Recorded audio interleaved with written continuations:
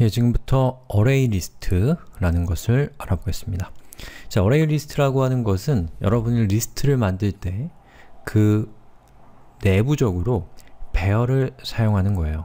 즉, 리스트라고 하는 좀 더 큰 완제품 안에 배열이라고 하는 부품을 사용한다고 할 수가 있어요. 자, 그래서 리스트와 배열은 뭔가 서로 대비되는 개념이라고 할 수가 없고 굉장히 친한 사이라고 할 수가 있는 거예요. 자, 그런데 우리가 뒤에서 배우게 될 linked list의 경우에는 배열 말고 다른 방법을 사용하게 됩니다. 자, 그럼 우리가 코드 레벨로 들어가기 전에 어, 도대체 배열을 이용해서 리스트를 만든다고 하면 어떻게 내부적으로 동작하는가에 대한 다소 추상적인 얘기를 먼저 하겠습니다. 어려운 얘기 아닙니다. 자, 우선 데이터를 추가하면 어떻게 되느냐? 자, 이렇게 됩니다. 만약에 여러분이 여기에 이 위치에 50이라고 하는 값을 추가하고 싶다고 할게요. 자 그러면 배열을 이용해서 여러분이 리스트를 만들게 되면 이것이 어떻게 동작하냐면 자 이렇게 동작합니다. 자 우선 이 자리에 지금 데이터가 있잖아요. 그러면 이 자리에 빈 공간을 만들고 그리고 거기다가 50을 착 갖다 놓아야 됩니다. 자 그러기 위해서는 제일 먼저 해야 될 거는 제일 끝에 있는 값인 40을 한 칸 뒤로 밀어내는 거예요.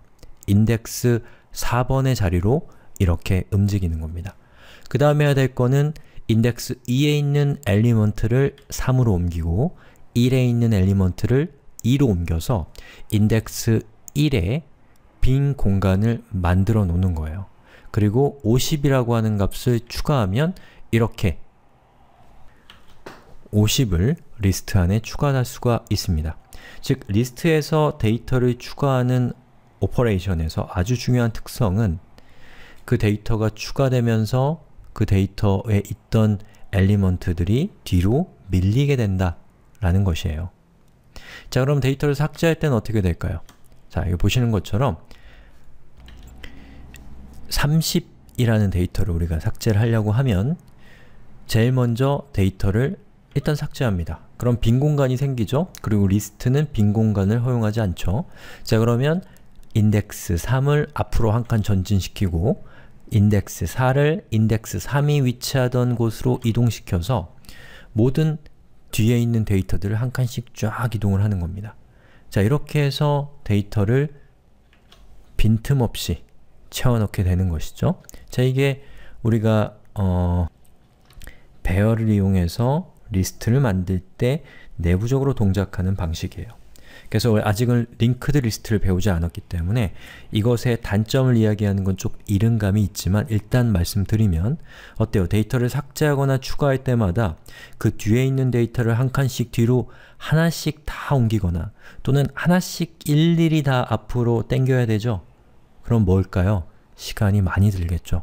자, 그래서 배열을 이용해서 리스트를 만들게 되면 데이터를 추가하거나 삭제할 때 시간이 많이 소요된다는 단점을 갖게 됩니다. 자 그러면 장점은 무엇이냐? 데이터를 가져올 때입니다. 여기서 가져온다는 것은 인덱스 값을 알고 있어서 그 인덱스 값으로 데이터를 가져올 때의 얘기입니다. 자, 여기 건물이 있어요. 자, 이 건물의 이 위치를 여러분이 알고 있어요. 이거는 뭐 1, 2, 3, 4, 4번 4번 건물에 뭐 15층이다, 뭐 1004, 1015다, 4015다 라는 이 호스를 알고 있다면 여러분이 여기에 딱 왔을 때 어떻게 하나요? 바로 일로 가서 엘리베이터 타고 이 엘리먼트로 가면, 저 방으로 가면 아주 빠르게 찾을 수가 있죠. 근데 만약에 여러분이 이 호스를 모르고 있다고 생각해 보세요. 호스를 모른다면 아마 여기 있는 방들을 다 일일이 뒤져야 될 겁니다. 안 그릴게요. 자, 이렇게 일일이 그리는 방식이 linked list예요. 그리고 여러분이 호수를 알고 있어서 거기로 탁 하고 찾아갈 수 있는 방법이 배열을 이용한 array list라고 할 수가 있어요. 그렇기 때문에 array list는 인덱스를 이용해서 데이터를 여러분이 가져오는데 굉장히 빠릅니다. 그것이 array list의 중요한 장점이라고 할 수가 있어요.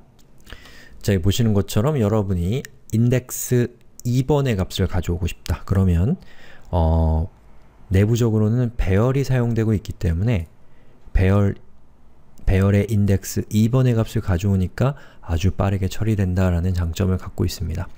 자 그럼 데이터를 가져오고 싶을 때는 어떻게 할까요? 데이터의 크기를 가져오고 싶다. 몇 개의 데이터가 저장되어 있는지를 가지고 오고 싶을 때는 자 보시는 것처럼 내부적으로 array list는 사이즈라고 하는 변수를 유지하고 있어요.